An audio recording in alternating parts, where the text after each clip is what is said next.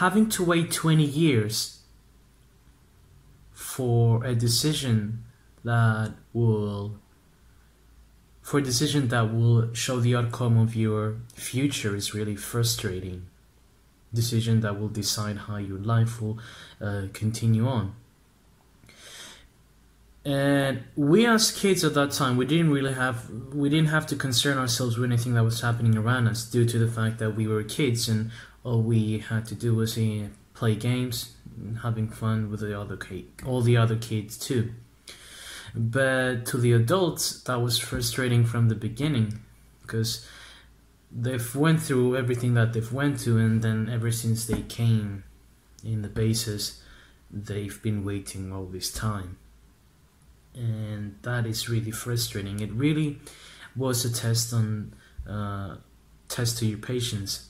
Really tested the patience. So yeah, it was really hard for them, and then for us too.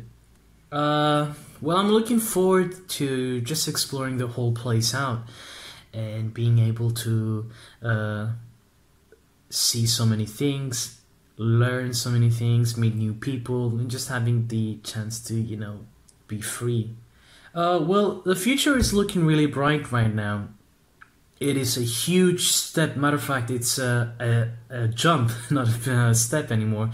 It is the jump that we needed, you know, to start on our lives. And it's really just a fresh beginning, being able to enjoy all kinds of things and have new goals and ambitions. Well, the new residency will be able to change my life in many aspects of it. And the main thing is that it will be able to help me study. That's the main thing, helping me study and work and being able to uh, learn all kinds of things.